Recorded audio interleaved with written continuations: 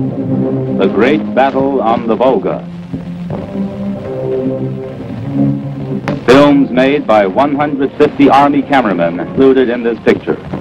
The cameramen who filmed Soviet troops in action were Bakar, Goldbrick, Ibragimov, Katzman, Malov, Arlyankin, Vaselsky, Vikharev, Goldstein, Kazakov, Khrushchevsky, Mukhin, Ostrovsky, Sotin, and Shadronov. With acknowledgments to the State Film Archives. Scenario, Yuri Smirnitsky, directed by Maria Slavinskaya. Text by Alexei Surkov, music arranged by Makarov.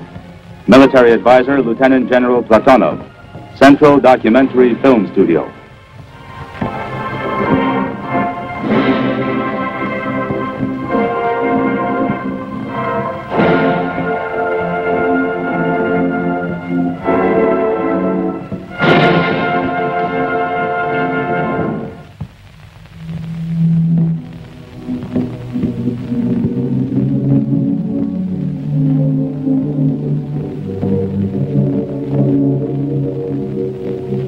Your head, friend.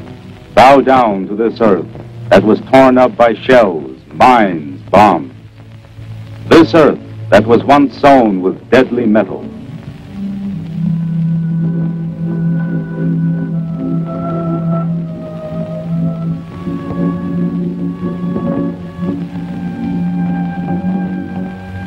This earth for which the Russian people gave their most cherished possession, their life.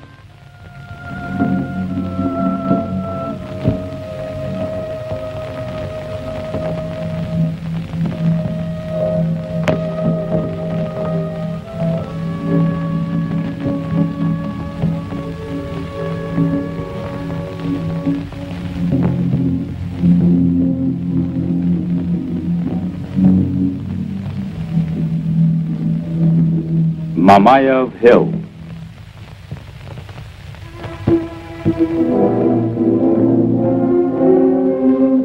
A tornado of war, of blood and death crossed over this place.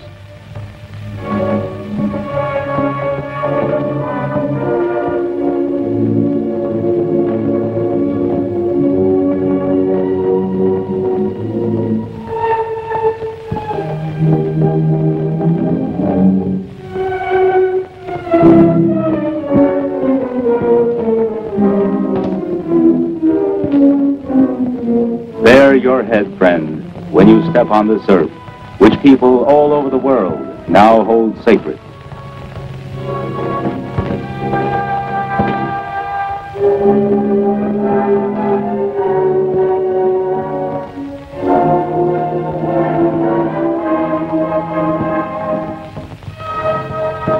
There is a handful of earth from here in the grim Antarctic today.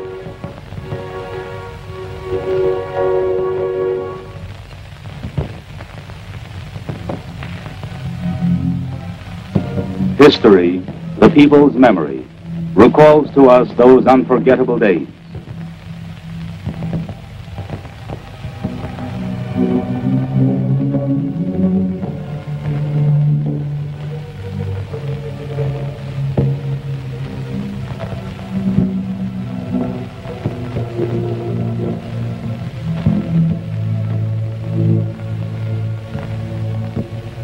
Summer of 1942 was a time of terrible anxiety.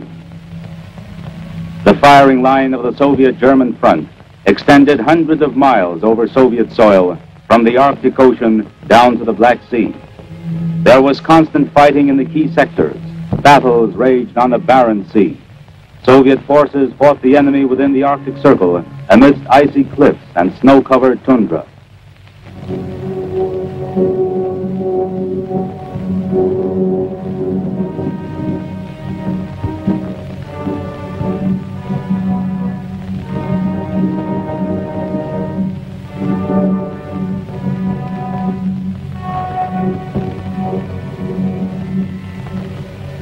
Heroic Leningrad, caught on the iron ring of enemy blockade, repulsed every attack.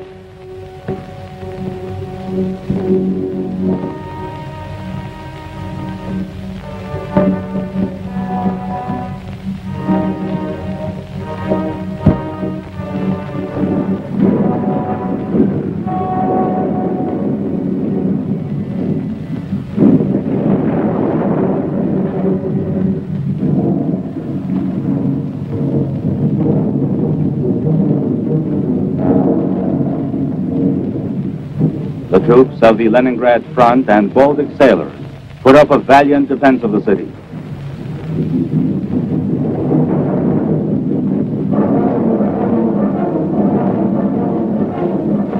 The front crossed through the ancient land of Novgorod. It was there, in the forests of Lake Ilmen, that the Soviet forces wore the enemy out in hard-fought battles.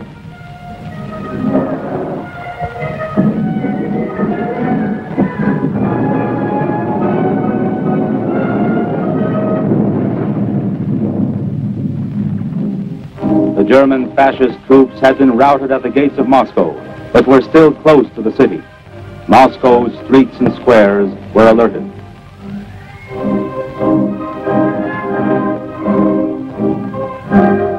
Soviet divisions to the west, covering the approaches to Moscow, were fighting continuously.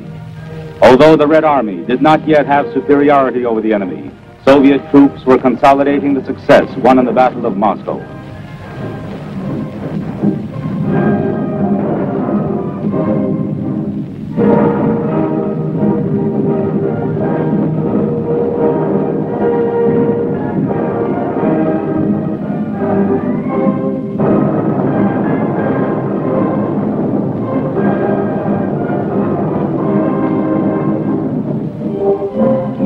All of Belorussia was still occupied by the Nazis.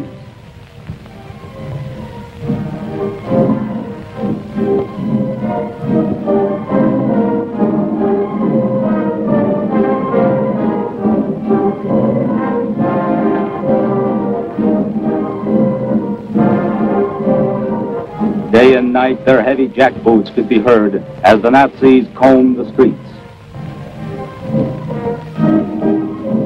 During the first year of the war, the enemy had captured a large part of the Soviet Ukraine.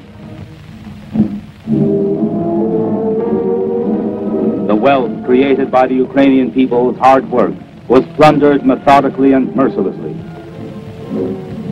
Trainloads of slave laborers, trainloads of food were sent to Germany.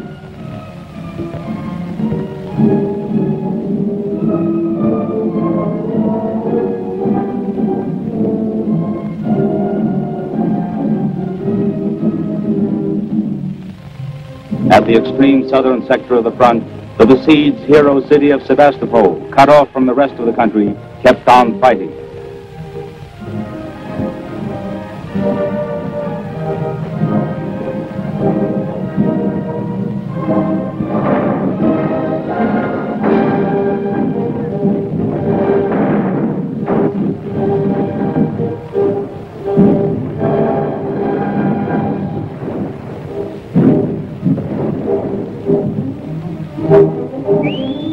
Among the city offenders were sailors of the Black Sea Fleet, known for their stalwartness and bravery in action.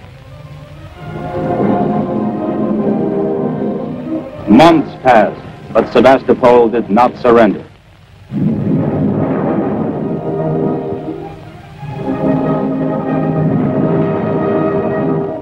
Aside from temporary successes, the first year of war brought the German fascist army severe defeats at Moscow, Rostov-on-the-Don, and Tikhvin.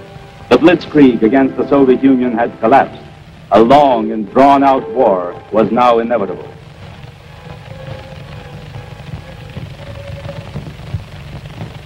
In the summer of 1942, the Hitler Command had concentrated shock groups east of Kharkov and Kursk and in the Donbass, with the aim of launching a major offensive, smashing the Soviet forces in the south and seizing the oil fields of the Caucasus and the rich farm regions of the Don, the Kuban, and the lower Volga. It was also the enemy's intention to cut off one of the key communication lines connecting the Soviet Union with her allies. Hitler's crack troops rushed into the offensive. The second front in Europe was still only a promise, so the German command was able to concentrate more than double the number of Soviet forces in the southwest sector. About 90 infantry, motorized, and tank divisions were thrown into the enemy offensive.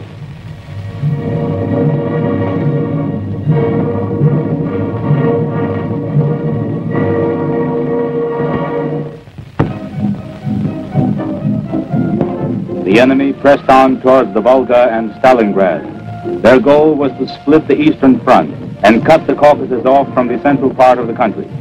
One-fifth of the German infantry and close to one-third of the tank divisions were in action here, over a million Hitlerite soldiers.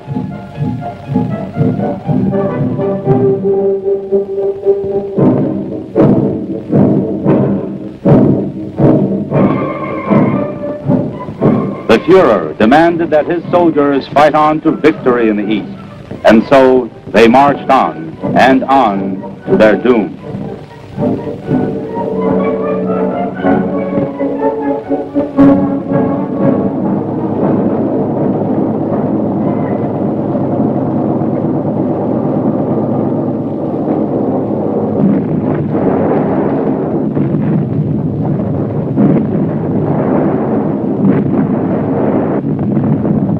Fierce clashes barred the enemy's way.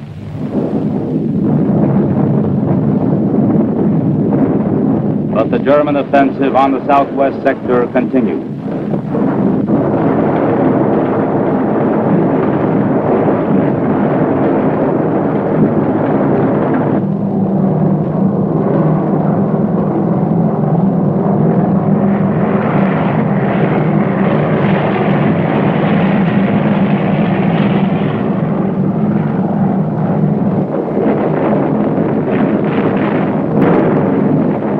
Fighting hard and stubbornly, the Soviet troops showed a fortitude that amazed the world.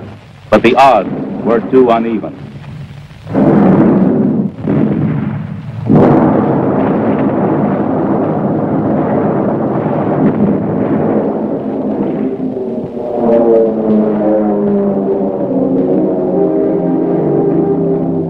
Again, as in 1941, the Soviet people tasted the bitterness of retreat.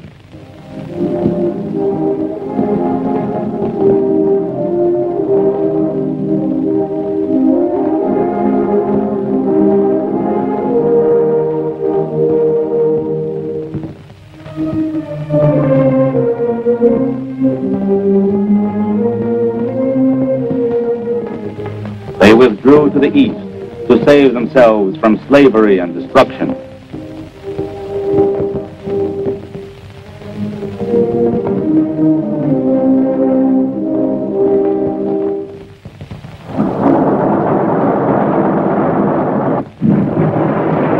One of the greatest battles of the Second World War began on July 17, 1942.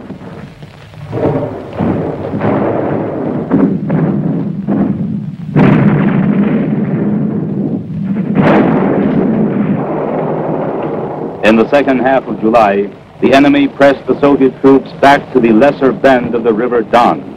A major battle was fought there in the steppes. The Soviet forces fought valiantly, inflicting heavy losses on the enemy. The Nazis called the road to the Volga the death road.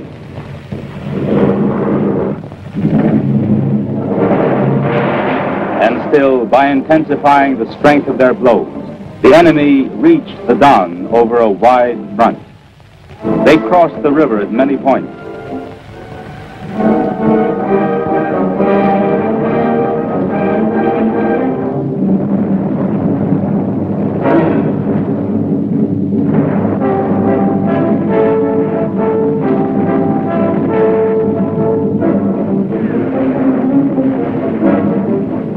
Division after division poured into the steppe country beyond the Don. Meantime, the German fascist command on the Caucasian sector sent units from three armies against the forces of the Southern Front.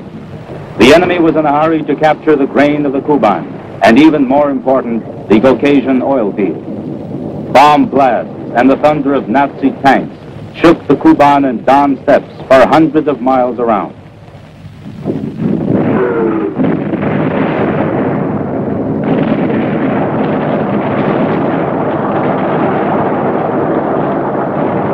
Command made an all-out effort to check the advance of the Germans.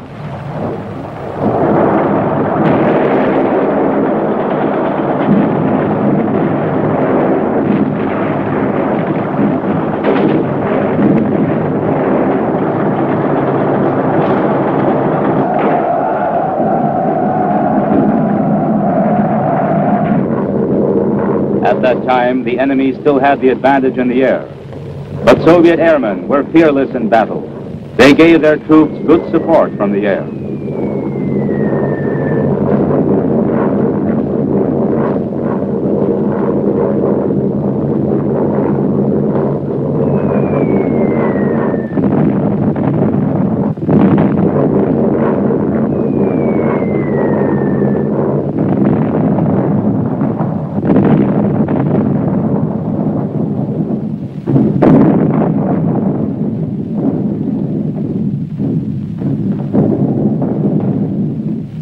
Regardless of losses, the enemy pushed on.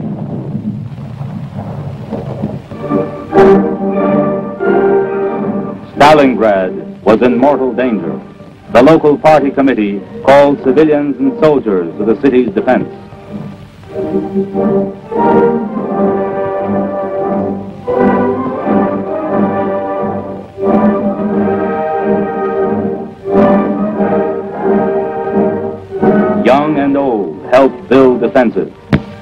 After day, more than 100,000 Stalingraders worked putting up fortifications on the front 400 kilometers long.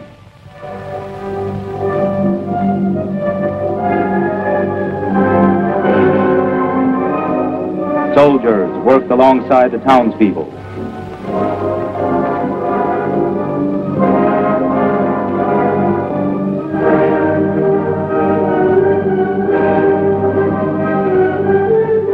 Stalingrad's factories were turned into fortresses.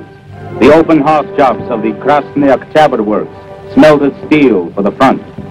Tanks now rumbled out of the gates of the Stalingrad tractor works. German shock troops headed for the city from two sides. The 4th Tank Army had been turned back from the Caucasian sector and was to attack from the south, but it met fierce resistance from the Soviet forces.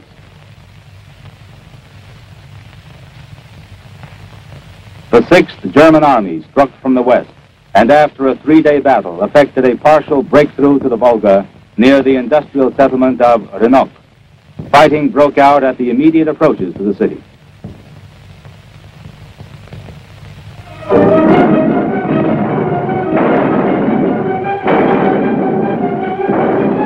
Pressure was increased all along the front.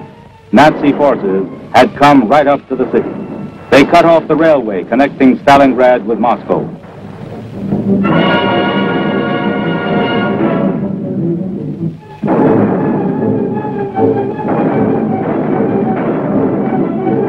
The enemy already had streets and buildings under observation.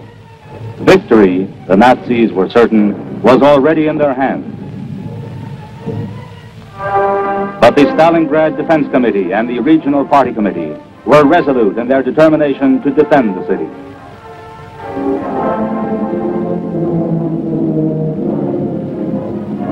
The main role in the defense was played by troops led by General Yeremenko, commander of the front, and military council member Khrushchev. During those critical days, the people of Stalingrad joined civil defense battalions.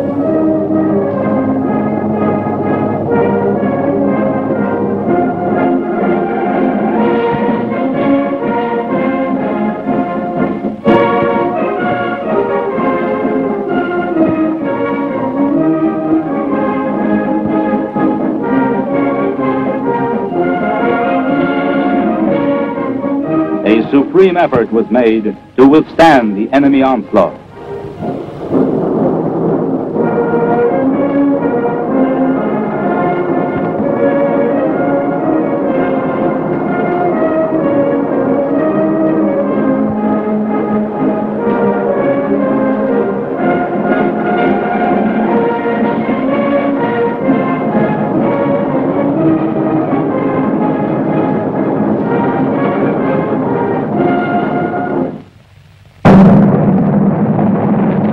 The enemy set August 23, 1942, as the date of a massive attack from the air to smash the city's defenses. Hundreds of planes with black crosses on their wings carried bomb loads to Stalingrad.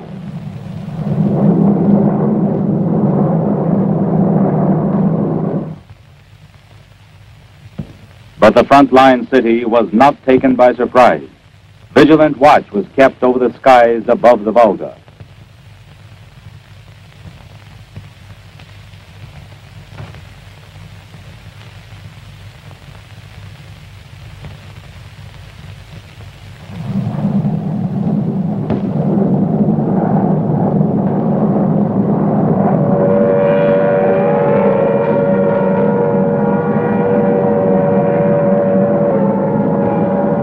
Anti-aircraft system was ready for action. Fighter pilots under General Khryukin made bold attacks on German bombers.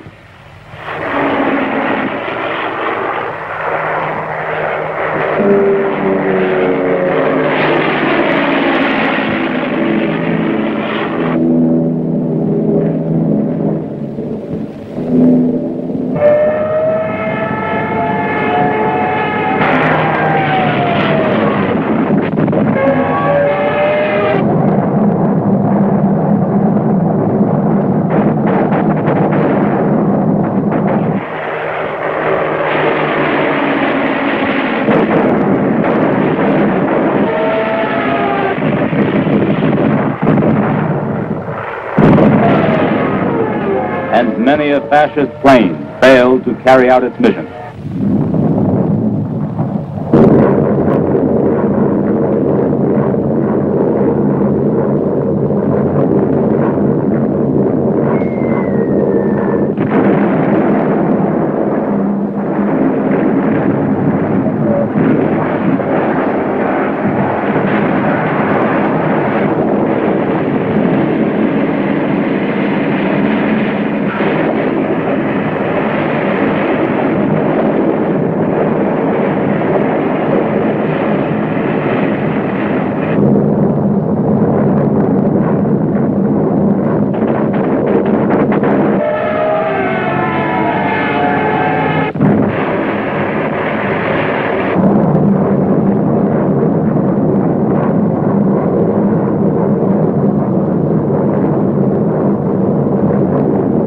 And yet, the enemy triumphed. 2,000 bomb hits in one day.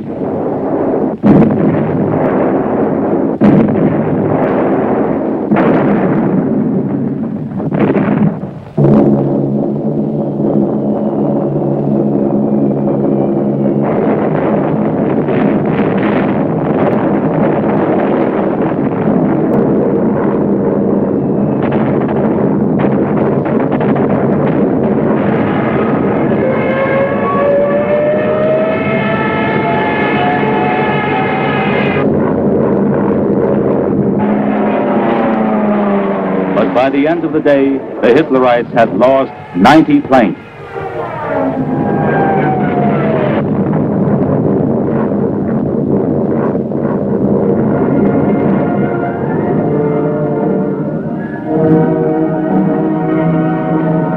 German flyers boasted they had turned the city into a fiery hell.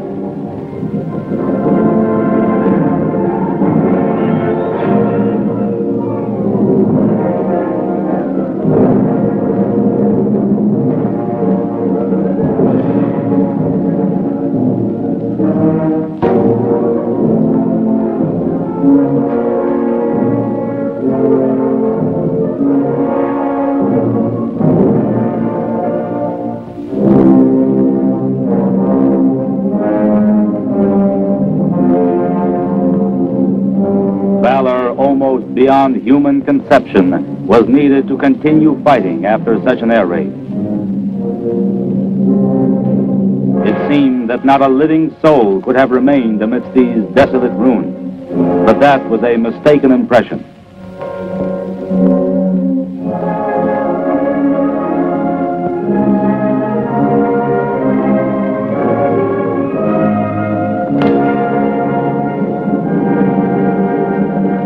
Survivors left their city, now reduced to ruins by fire and metal, and retreated beyond the Volga.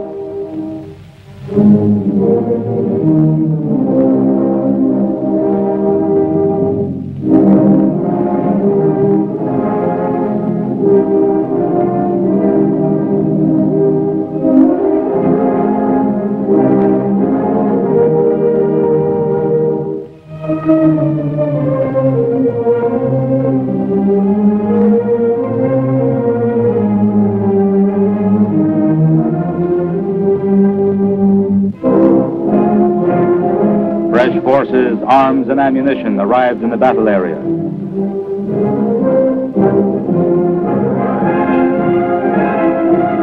Red Army reinforcements approached the city along the Volga and on roads across the steppes. They had been sent to defend the Volga stronghold, and they took up positions on the front line.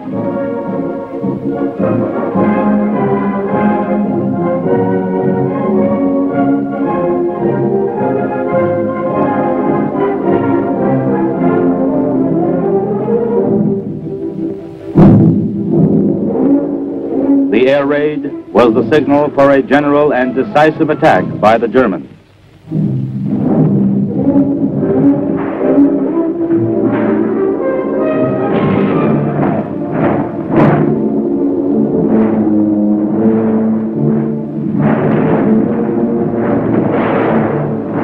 They were in the city and certain of victory.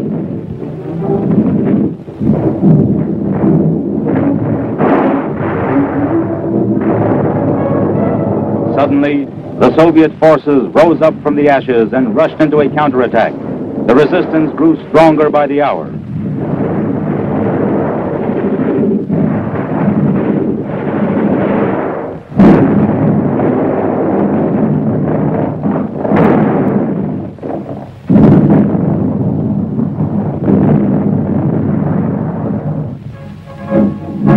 Hitler had congratulated his generals too soon.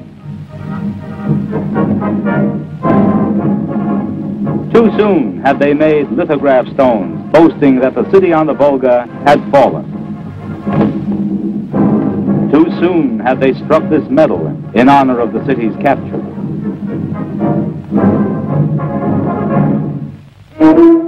The attention of the world press was focused on the battle on the Volga.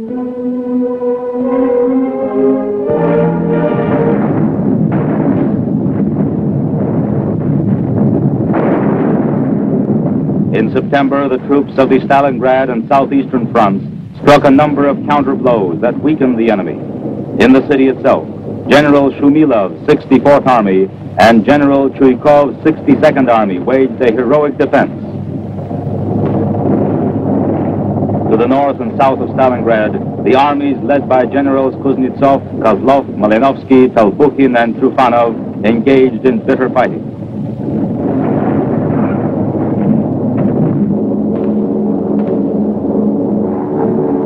Attacking the Volga stronghold, the Germans also continued their advance on the North Caucasus, whose grain and oil were such a great temptation. Here they managed to press back the Soviet forces and enter Krasnodar.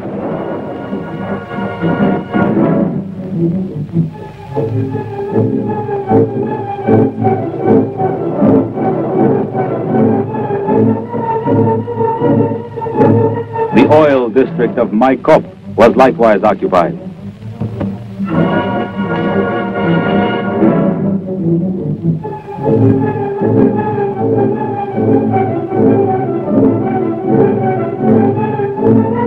German fascist troops reached the Caucasian Mountains with the goal of capturing the passes in the main Caucasian range.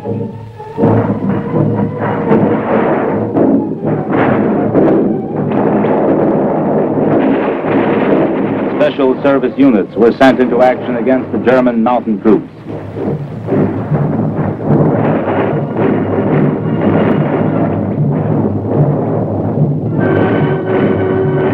There were fierce clashes high up amid cliffs and crevices. The enemy's way to the southern slopes of the mountains was barred.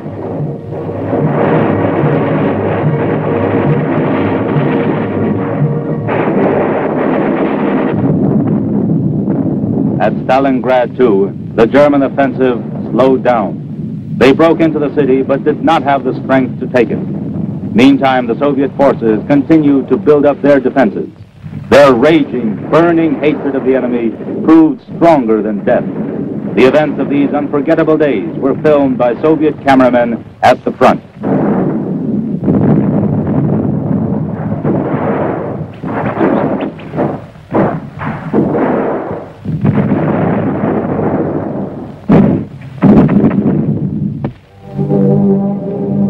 62nd Army of the Stalingrad front, which had been squeezed right up to the Volga, fought under unbelievably hard conditions. The defense belt, 25 kilometers wide and from two and a half kilometers down to only 200 meters in depth, was under fire by all types of enemy arms.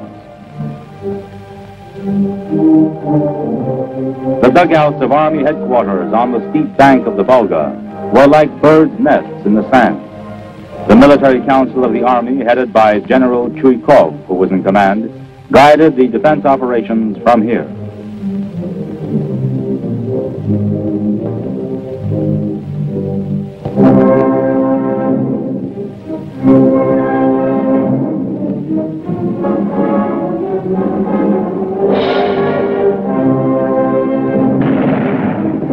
The men of the 13th Guards Rifles Division, commanded by General Rodimtsev, were outstanding among the city's defenders for their courage and valor.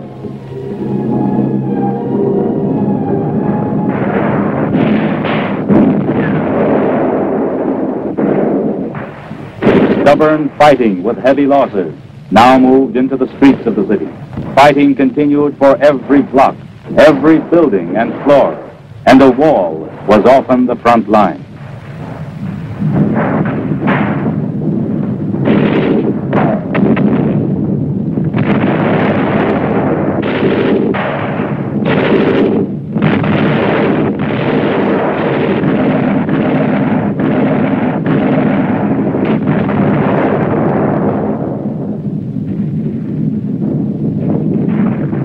Sniper Anatoly Chekhov shot down many a German soldier and officer.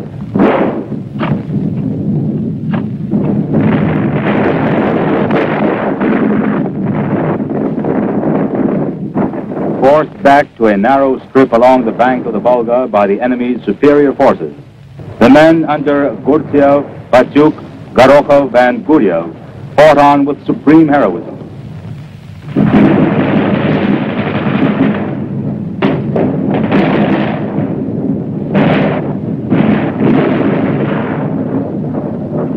History has not left us the names and ranks of those who laid down their lives in the fighting on the Volga. But the Soviet people cherish beyond measure even these nameless film records.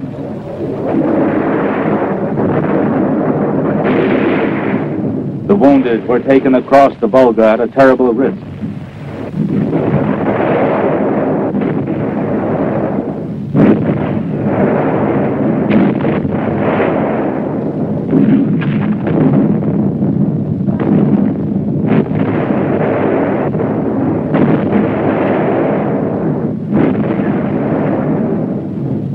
This was known as Lyudnikov's Island. Completely surrounded, it was a pock of resistance which for 70 days fought a defense to the death. The 138th Division under Colonel Lyudnikov prevented the enemy from reaching the barricade works. This small piece of land on the riverbank has become a legend. It extended 400 meters along the front and was 300 meters in depth. From here, reports were sent to Army headquarters. These brief words meant so much. Exceptionally hard, fierce fighting. 14 enemy attacks repulsed by artillery fire, counterattacks, and hand-to-hand combat. The enemy has reached the Volga on both sides. They're firing straight through the division's formation. It was impossible to stand up to this, and yet they did it. Not a step back.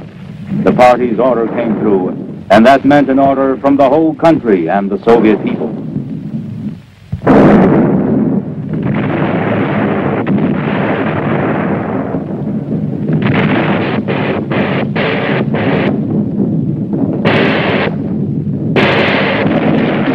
Machine gunner Starodubtsev died the death of a hero. It was an unwritten law of frontline brotherhood that the living gave an oath to those who had been killed will stand to the death.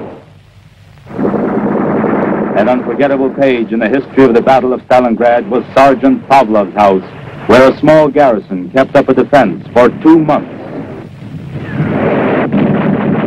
Shoulder to shoulder they fought, Lieutenant Afanasyev, Guard Sergeant Yakov Pavlov, Privates Ilya Voronov,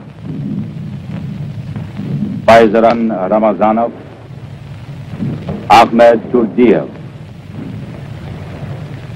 Nikolai Masyashvili, and Vasily Glushchenko. There were others too. Many of them known, still more unknown.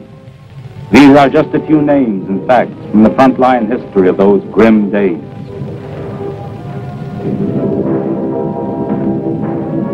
Vasily Zaitsev, hero of the Soviet Union, wiped out 300 fascists. A super sniper was brought especially from Berlin to get rid of him, but Zaitsev got him too.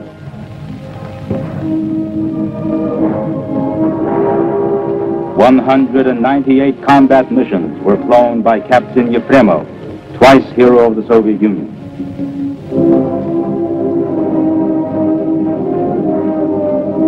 Red Army men Alexei Vashchenko and Nikolai Serdyukov sealed up enemy firing positions with their own bodies.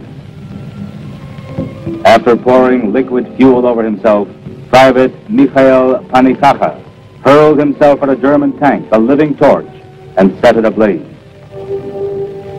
Ilya Kaplunov of the Soviet Navy destroyed nine tanks in a single battle, the last after his own leg had been torn off.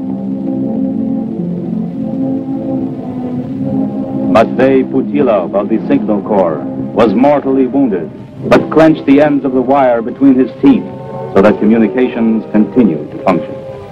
Captain Ruben Ibarruri, hero of the Soviet Union, son of the splendid daughter of the Spanish people, Dolores Ibarruri, fell the death of the brave along the Volga. Eternal glory to the heroines of the Battle of the Volga, Olga Kovalyova, member of the Communist Party. She smelted steel during the war and then volunteered for the civilian guard. She was killed in the fighting for the Stalingrad tractor works.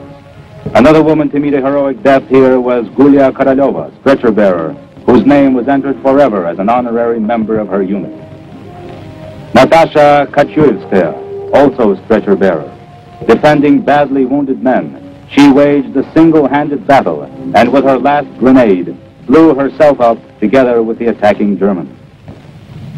The Soviet people were unshakable in that terrible ordeal. They had faith in the triumph of the socialist system. I want to go into battle a communist.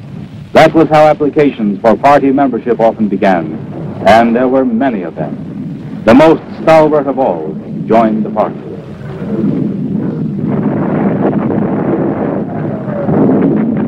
They received their party cards at the front line.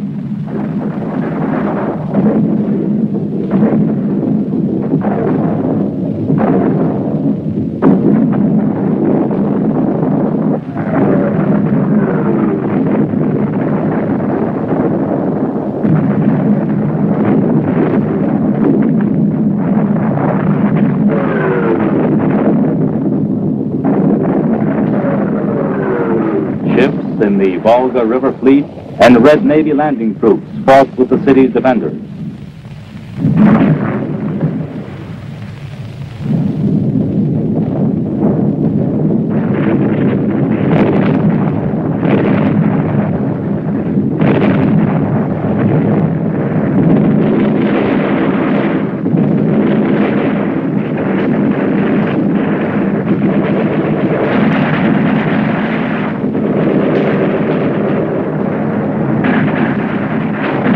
Defending Stalingrad.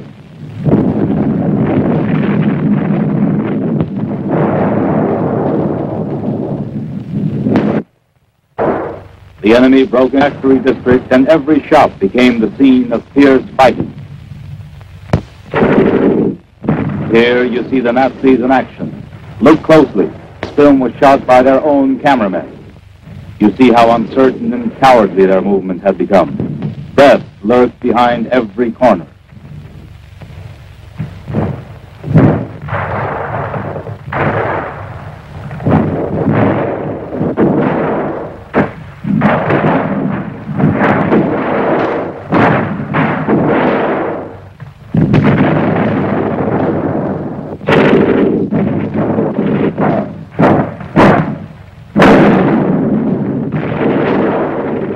Soviet soldiers adapted themselves to fighting amid the ruined buildings.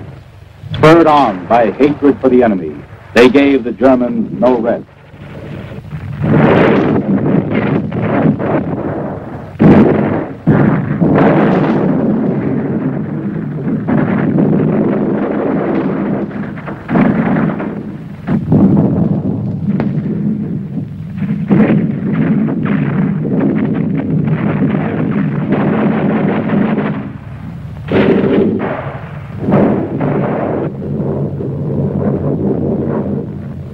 Badly entangled in street fighting, the Germans attempted to crush the Russian defenses from the air.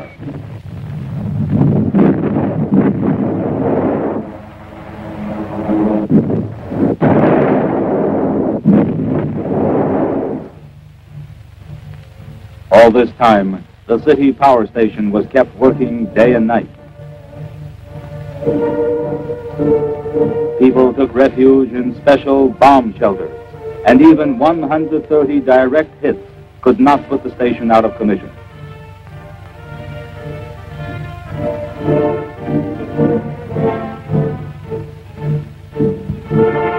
In the southern part of the city, near the shipbuilding yards, the work of repairing damaged tanks went on day and night. From here, they were driven straight to the front line.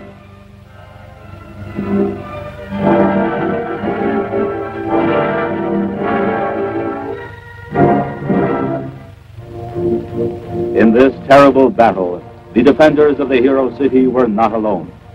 All the Soviet people were with them, the entire multinational country, closely united by the Communist Party and its Central Committee. Everything for the country's defense, all as one man to the struggle. Old timers, veterans of the first five year plans, went back to their machines.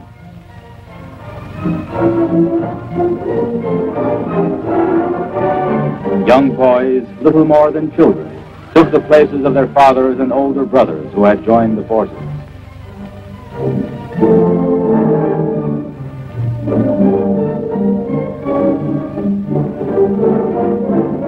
Girls did their share too. Everyone who could help forge victory.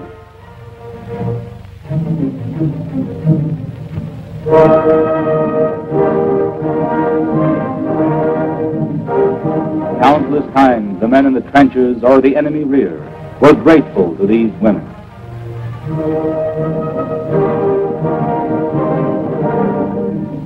Millions of husbands were now soldiers. Millions of wives, sweethearts, and sisters helped the war effort on the home front.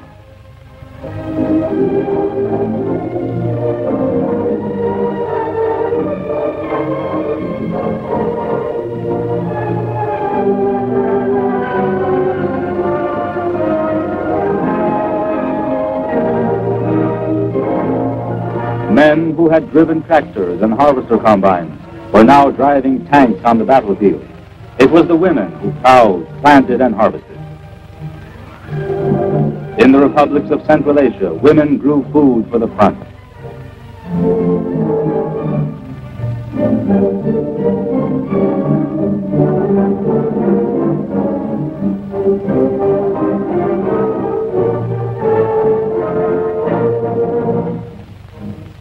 Far from the front, in the Urals and other areas, the war effort was intense. The steel from these furnaces was for the front.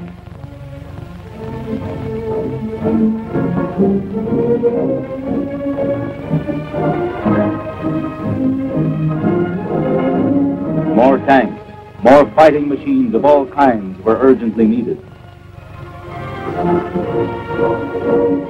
More bombers and fighter planes.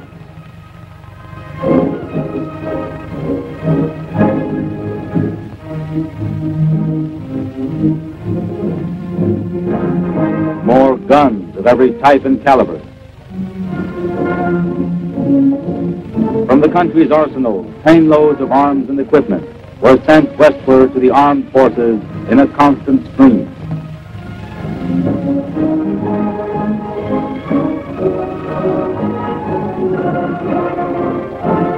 On decision of the State Defense Committee, fresh units and formations of all arms were brought up to the battle area.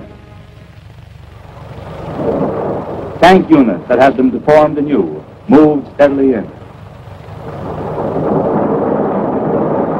The reserves sent into the fighting were now well equipped, well armed, and well trained.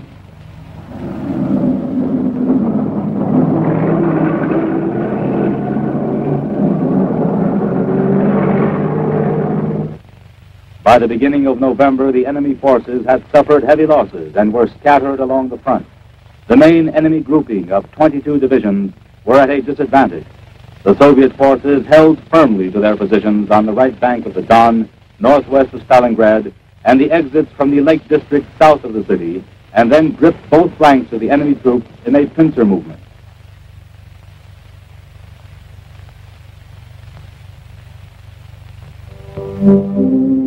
In the meanwhile, preparations were underway under the leadership of the Communist Party Central Committee for a decisive Soviet offensive.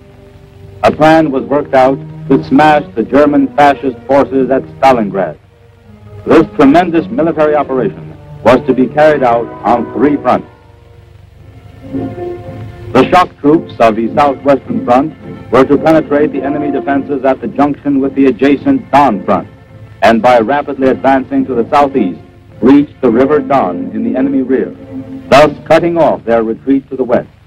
Then the forces of this front were to link up with the Stalingrad front. Shock troops on the Stalingrad front were to break through the enemy defenses south of the city, advance northwest, and link up with the forces of the southwestern front in the area of Kalach. This would cut off retreat to the south and southwest. The troops of the Don front were to strike two auxiliary blows, one to the southeast to paralyze the enemy's defense on the right bank of the Don, the second southward along the left bank to cut the Germans off from their grouping on the Volga.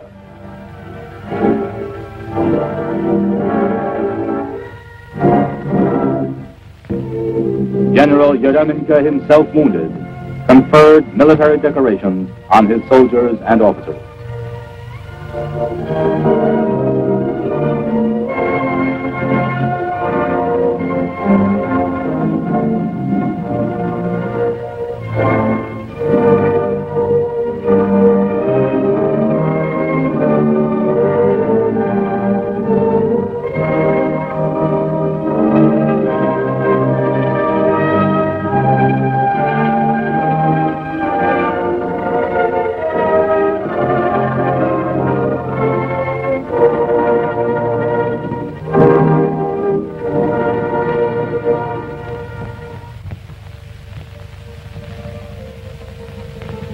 Life went on while the offensive was being prepared. The grim, comfortless life of a soldier.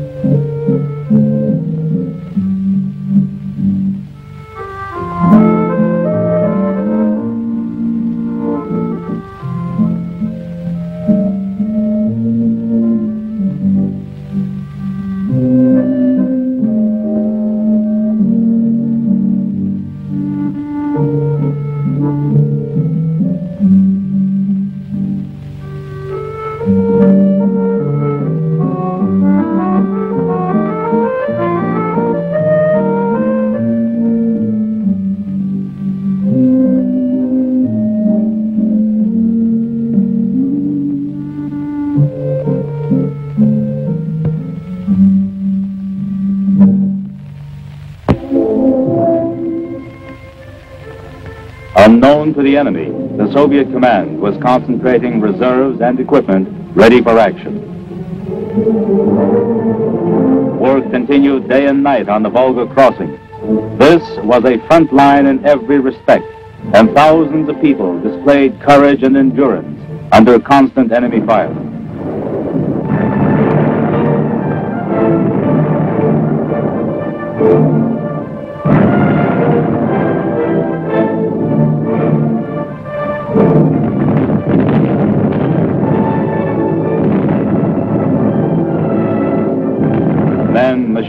And ammunition were sent across to the right bank on boats and ferries. Military commanders and old-time Volga navigators took their places side by side on the captain's bridge.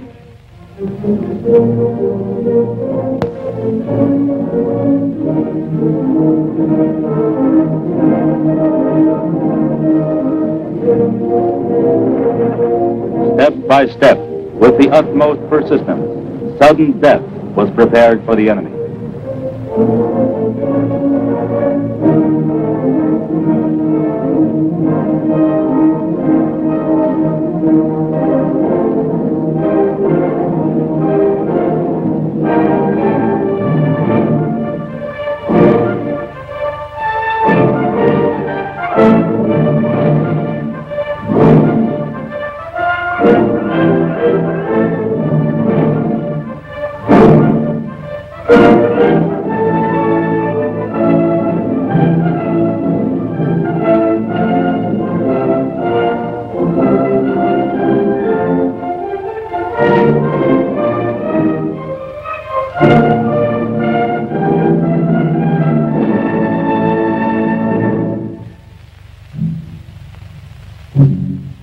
Enemy was kept under constant observation.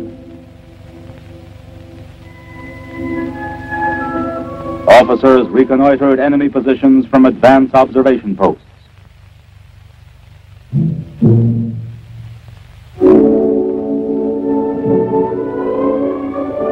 Then, one day, the three fronts went into coordinated action. The Stalingrad front under the command of General Yeremenko Military Council member Khrushchev. The Southwest Front, commanded by General Vatutin.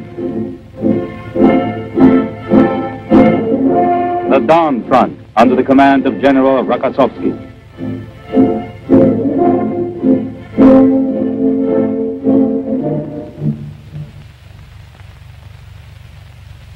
Crushing mass artillery blow was launched on the 19th of November.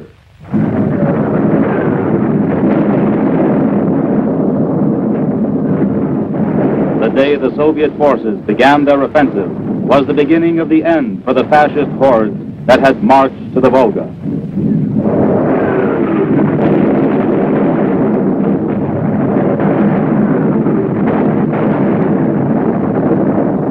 An avalanche of fire and metal was poured on the enemy from thousands of guns.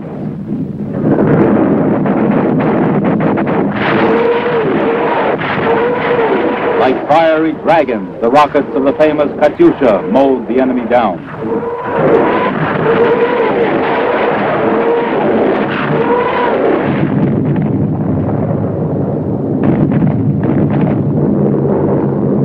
Enemy positions were heavily bombed by flyers in the Air Force armies commanded by Generals Khryukin, Rudenko, and Krasovsky.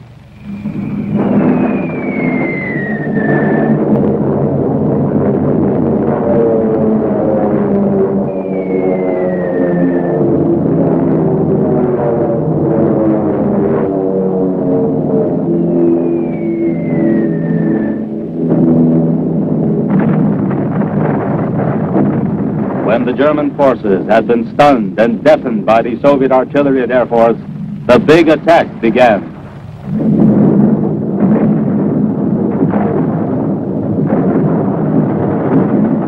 Wide breaches were made in the enemy defenses. Through these, Soviet tanks pushed ahead with the purpose of linking up with the troops of adjacent fronts.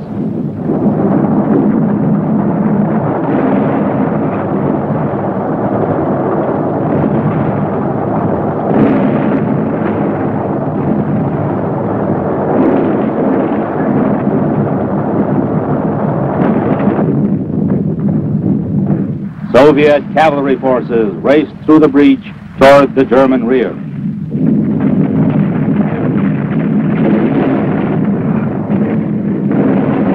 After breaking through the enemy defenses, the troops of the Southwestern Front pushed ahead in a vigorous drive to the southeast, bound for the Don River crossing.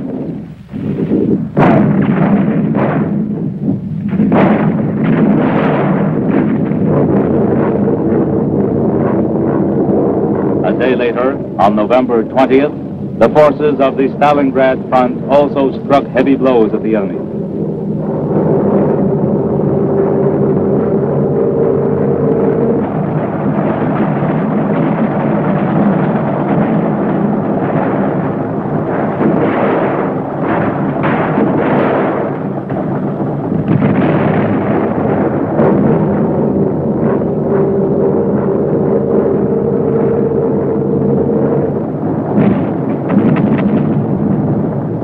And on the fifth day of the victorious offensive, advance units of the southwestern and Stalingrad fronts met in the snow-covered steppes near the village of Sovetsky.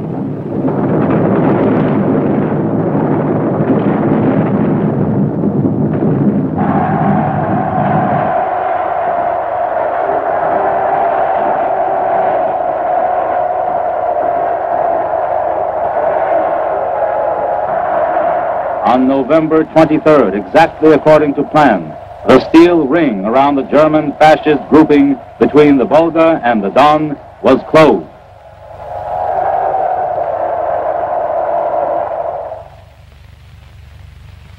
By December, the Nazi forces, surrounded on an area 30 by 40 kilometers, were separated from the remainder of their troops by 100 to 150 kilometers. To relieve their encircled grouping, the Germans now formed a new group of the Don Army under the command of Field Marshal Manstein. It advanced from the Kotelnikovo area in order to join the encircled forces. The enemy onslaught was repulsed by the 51st Army under General Trufanov and General Malinovsky's 2nd Guards Army. The Soviet forces pressed ahead on the Donbass and Rostov sectors, threatening the enemy's entire southern grouping and forcing the Germans to make a hasty retreat from the North Caucasus.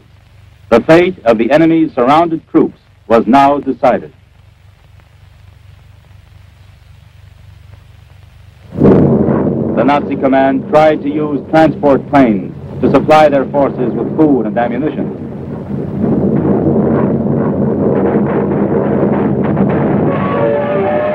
But it was useless. This scheme was frustrated by hurricane fire from the Soviet anti-aircraft guns and attacks by fighter planes.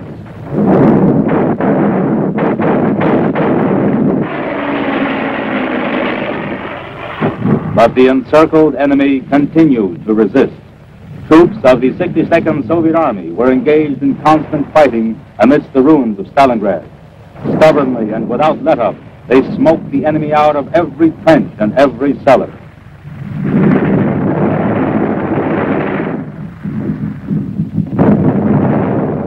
The fighting initiative was now in the hands of the Russians.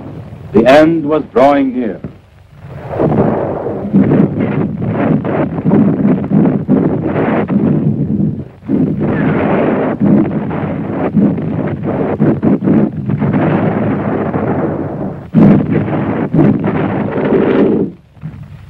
Plan was to slice up the enemy's besieged group by blows from different directions and mop up unit by unit.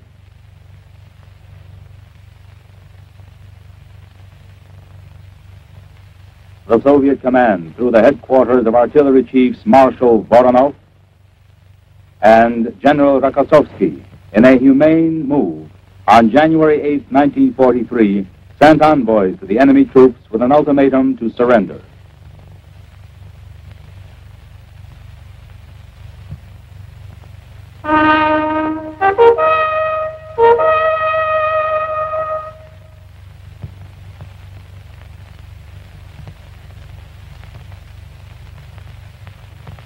When the time limit was up, the order was given to advance.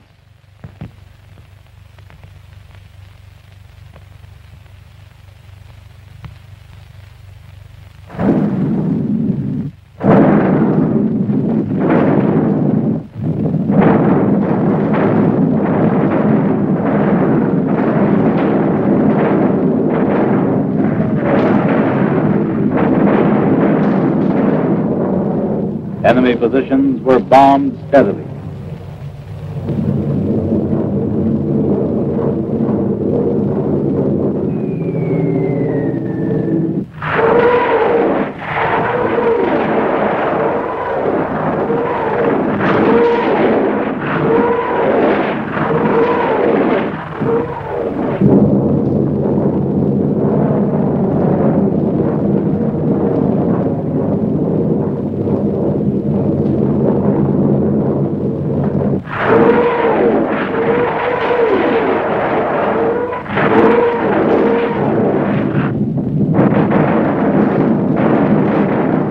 Bitterly cold January day, after the artillery had pounded the enemy lines, the infantry went into action.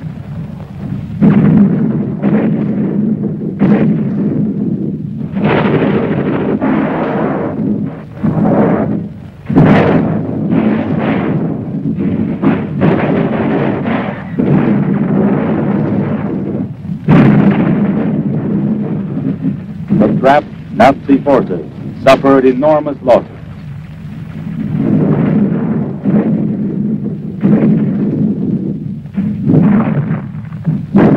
The land along the Volga was strewn with smashed enemy equipment.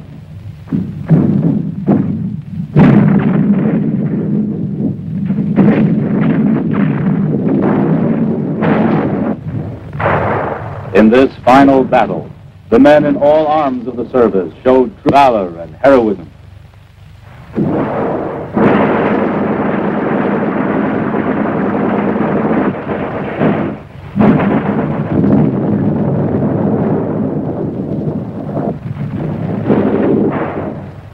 The enemy could no longer stand up to the pressure.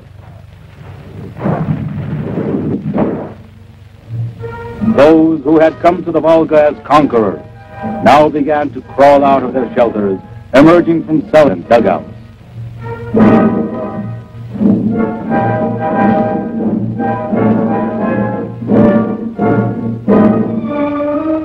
In the meanwhile, units of the Don Front, after smashing the enemy's last defenses, had linked up with the city's defenders.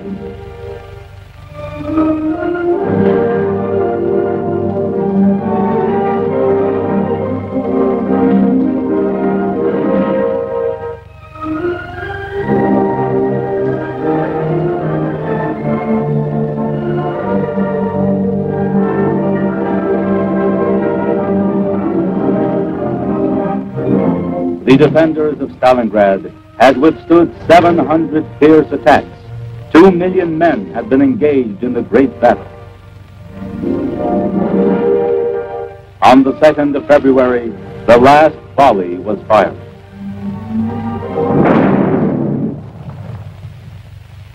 Quiet reigned in the city for the first time in 200 days.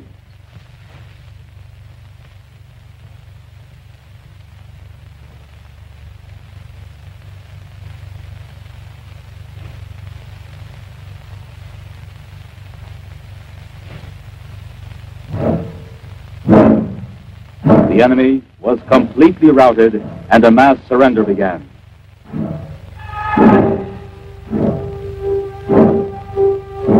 This was the way they stood when Hitler sent them to a criminal war. And this was how they now stood before the Soviet people.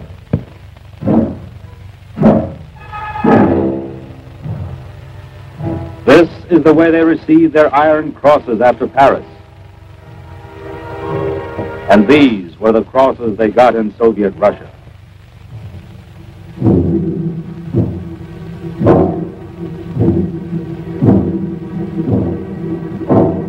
This was how Hitler's crack troops advanced to the east.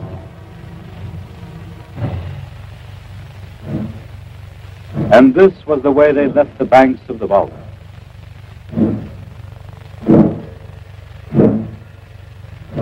Soldiers gave themselves up.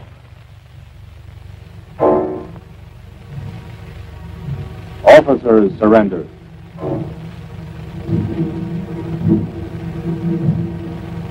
Hitler's arrogant generals, the executors of their Fuhrer's insane plans, surrendered too. The commander of the Sixth Army, Field Marshal von Paulus, also surrendered.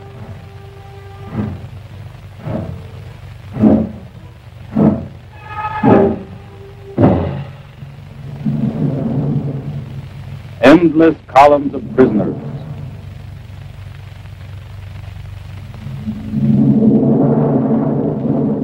The Soviet forces smashed five fascist armies in the fighting between November 19th and February 2nd. Germany lost 33 divisions and three brigades completely. 16 divisions had lost more than half their men.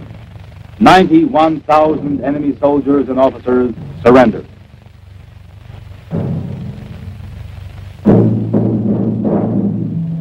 During the last days of the battle, the Nazis left an enormous graveyard of tanks, artillery, planes, motor vehicles, and armored carriers.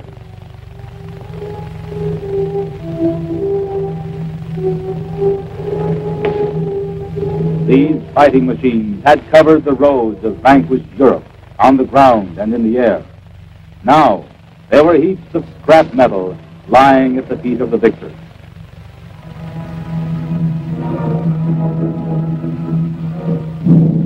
Never in the history of warfare had a huge army suffered a defeat like this. The great battle on the Volga ended in a brilliant victory for the Soviet troops and was the turning point of the Second World War.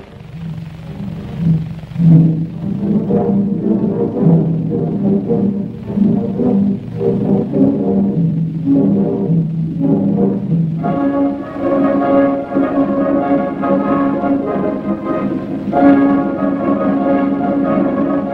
Soviet victory was celebrated joyously. Red Army soldiers, officers, and generals gathered on the city square surrounded by ruins.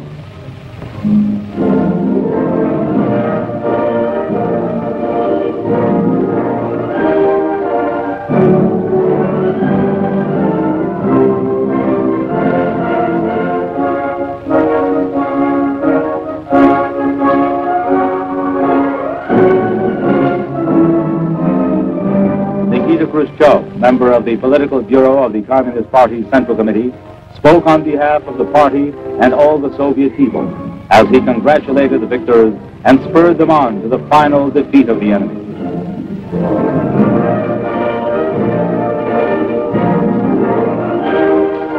Now that the fascists had been defeated on the Volga, the Soviet forces advanced westward. The dawn of victory over fascism could be seen in the fires of this great battle.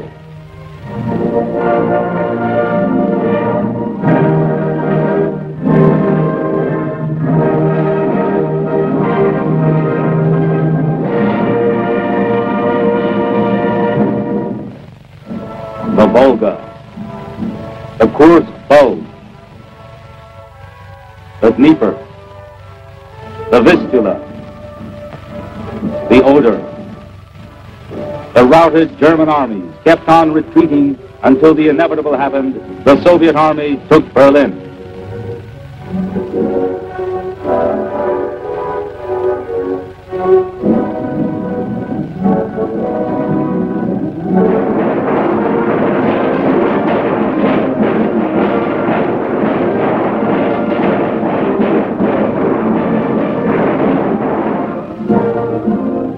Hitler Germany surrendered unconditionally.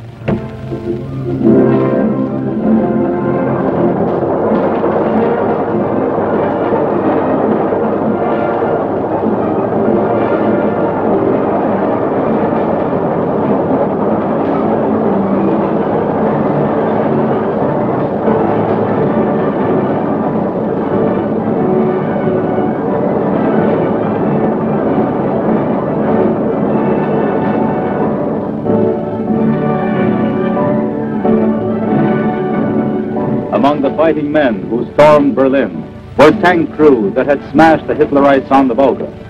These were soldiers who had covered the entire road from the banks of the Russian River to the Elbe.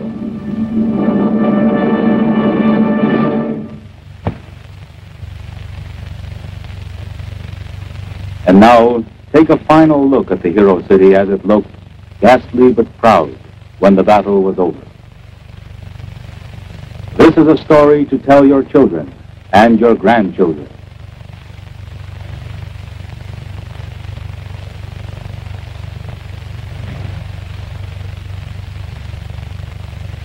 The Soviet people had to pay a heavy price for this decisive victory on the Volga. No better monument could have been conceived than present-day Volgograd.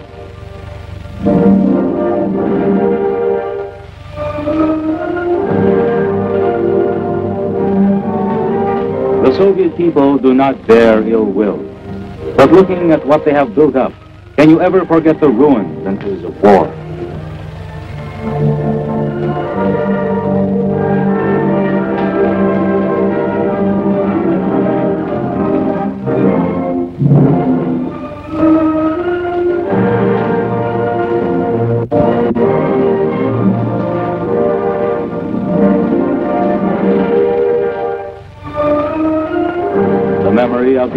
Exploit at Stalingrad will never be erased.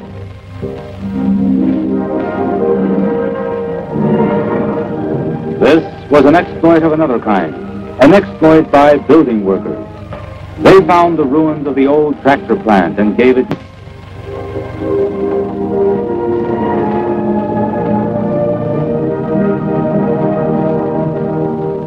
It was they who made an old dream come true and connected the Volga and the Don.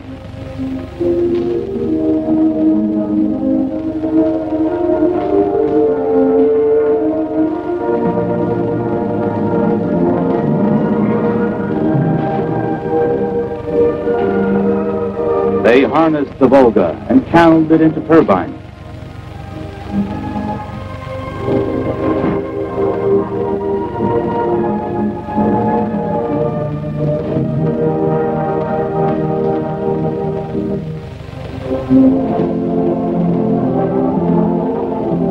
Will never forget that this flourishing land on the Volga was once crimson with the blood of our fathers and brothers.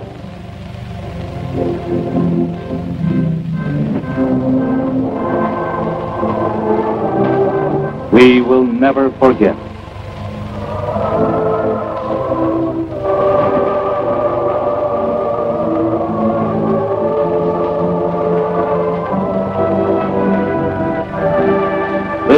Of builders and heroes received many tokens of admiration. President Roosevelt sent this scroll on behalf of the American people.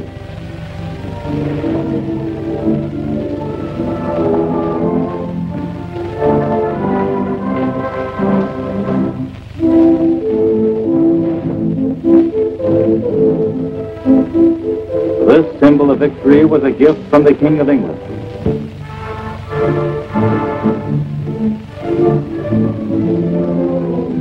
Battle shield was sent by the Emperor of Ethiopia.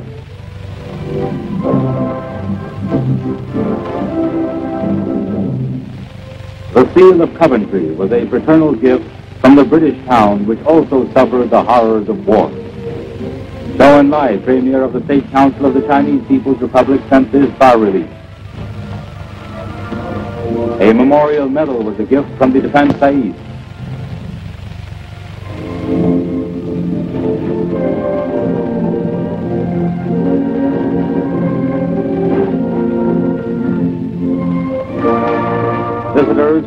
Parts of the world bow their heads in memory of the heroes of this battle. A delegation from France.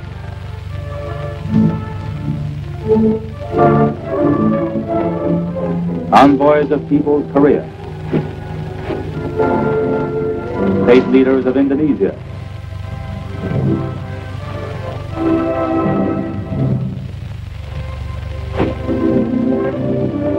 The Federative People's Republic Latvia.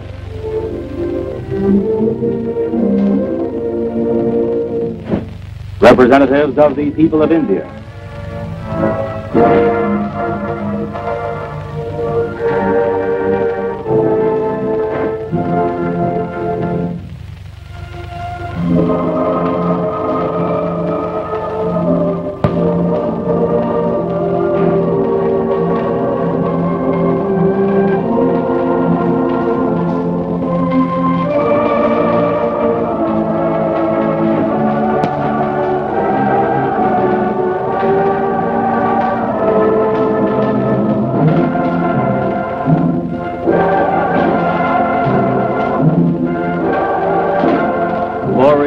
The hero city on the Volga.